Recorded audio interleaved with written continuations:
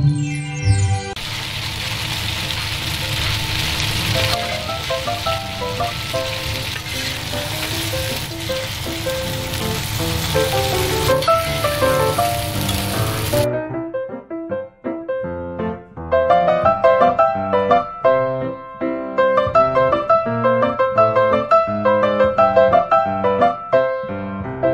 Hello，大家好，我是阿星。在这寒冷的冬季，阿星来到了一个温暖的地方，就是福建的省会福州，也叫榕城福州。为什么说榕城呢？因为我看到大街小巷非常多的榕树，这里的空气质量很高。今天啊，阿星要品尝一个福州特色的小吃，就是煎包，就我身后这家店，也是家老店了。走，咱去尝尝。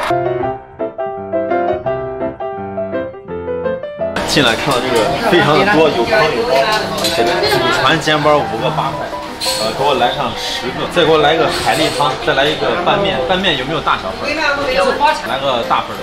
拌面大份，海蛎汤一碗，煎包十个。三十二汤，三十。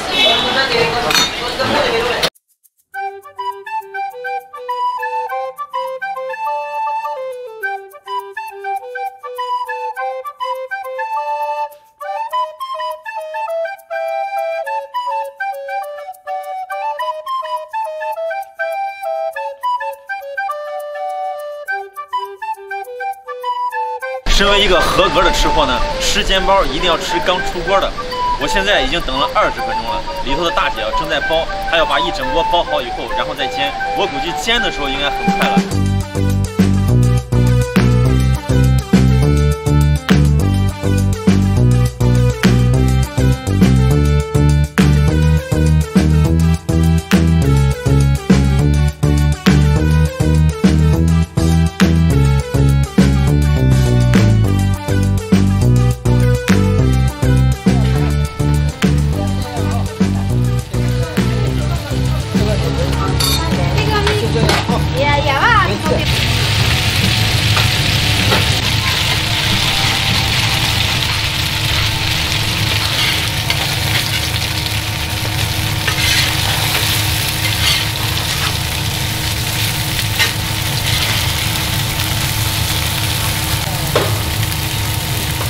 两碗汤是吧？哦，这个是清汤啊，对，一碗海蛎嘛。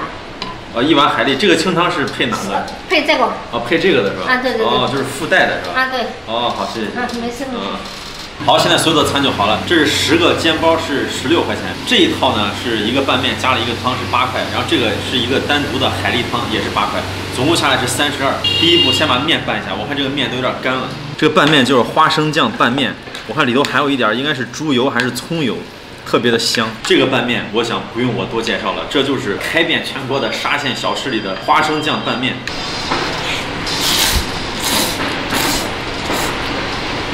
我觉得这种拌面啊，在你最饥饿的时候来一碗，哎呀，真是要了命了，太香了。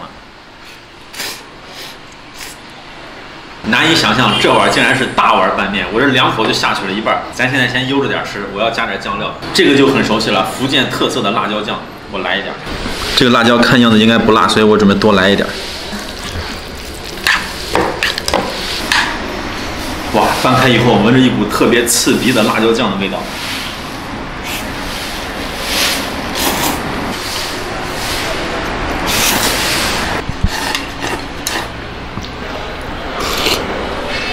哇，这个汤也挺鲜的，这个就是猪骨汤，里边有点葱花，但我觉得它味精味稍微有点重。这面吃完了，咱赶紧尝尝煎包。要吃煎包之前呢，一个非常重要的步骤就是调蘸汁。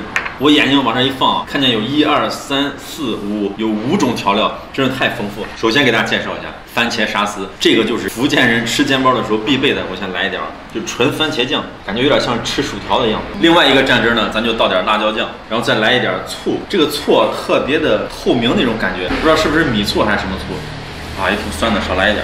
这个要着重介绍一下，这个在福建人的餐桌上必备的虾油啊，闻着闻着味道怪怪的。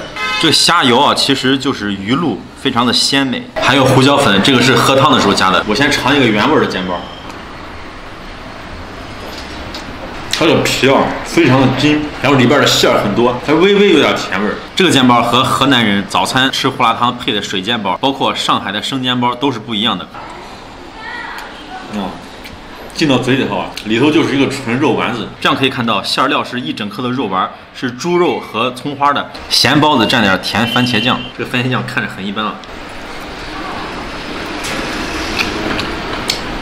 嗯，这种吃法啊，我还真受不了，难以理解啊。咱还蘸点这个辣椒酱。嗯，这个好吃。这个包子本身已经很好吃了，你再蘸点虾油啊，哎呀，真是太美味了。刚开始我还想点那么多会不会吃不完，我看这个包子这么小，真是一口一个。咱来喝一喝这个八块钱一碗的海蛎汤，里头的海蛎肉真的很多，虽然不大，但是少说有二三十个，多么的肥美。嗯，看，肥嘟嘟、嫩乎乎，再来点汤。福建人爱喝汤，这碗汤吃水煎包真的是很好的搭配。